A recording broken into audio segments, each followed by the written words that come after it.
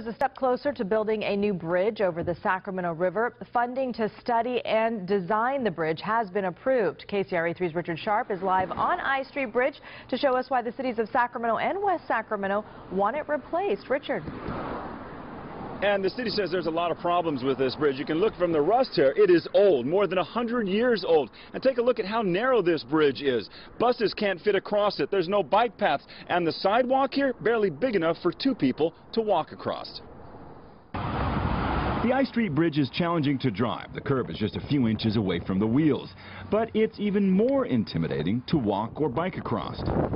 It's pretty dangerous. It's terrifying because you're going down there, next thing you know, there's cars coming every which way to you. You almost been hit? Yeah, numerous times. Still, some who say the bridge is dangerous don't want to see it rebuilt. It's kind of weird because it's such an old bridge and I like it. Actually, I think that's a waste of time. The motion passes. The city just approved over $2 million for environmental studies and design of a new I Street bridge, just upriver from the current one. So the current bridge will remain in place. What will be demolished are the approach structures. The new bridge will have wider lanes, bike lanes, and walkways. It will also be able to accommodate larger vehicles. The cities on both sides of the river hope it will be a landmark for people to enjoy.